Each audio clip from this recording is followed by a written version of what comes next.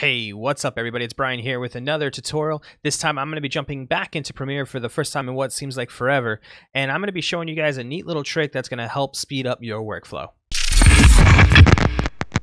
So here we are, we're in Premiere, and I have this project that I'm working on right now. I want to show you guys a neat little trick. If you guys have ever found yourselves working on several projects at the time and using the same media in project to project to project, and you find it time consuming to import that media into said projects, over and over and over again, this tutorial is for you. So what we're going to do is I'm simply just going to import what I like to call a template project or a library. What I have done before I recorded this video is I had set up a Premiere project that honestly is just a standalone. It's not for anything. I'm not rendering anything out of it. It's just a project that exists to save my media. That way I'm not consistently having to import my media over and over and over again. I only have to import once. So let's go and do that real quick. I'm going to come up here to File, Import, and I want to import what's called my super website template. Now, what I could do is I could start my project off the super website template. That's one way to do it, but sometimes I don't want to.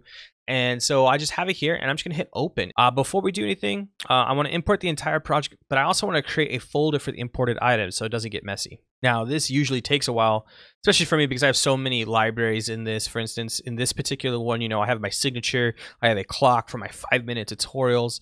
I even have nested sequences here, as you can see. And that's, you know, that's the sequence that I will use for my five minute tutorials. Um, I saved that as a template ahead of time.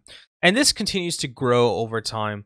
And the way I grow it over time is I just open up this Premiere project right here uh, in its own, and I will save media to it, and then I will close it down, and then I'll open up whatever project I'm working on.